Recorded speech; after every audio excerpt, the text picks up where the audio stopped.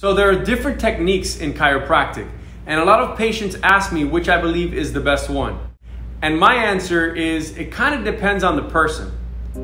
So the three main types of adjusting are instrument adjusting, meaning that you use a low force tool to adjust the spine. You have table drops, meaning that you have a table that's specifically designed to drop and use physics in order to reestablish motion to the joint.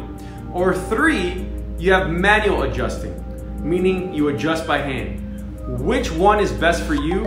It depends on you. If you're a severely osteoporotic patient, meaning that you have very little bone, I would recommend using an instrument.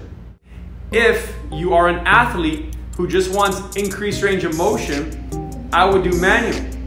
It just depends on the person. It's not cookie cutter, it's tailor made to you. So, which is the best technique? I don't believe there is one. As long as your provider's analyzing and correcting your spine, that's the main thing. Now for you guys only here for the adjustments. Here you go.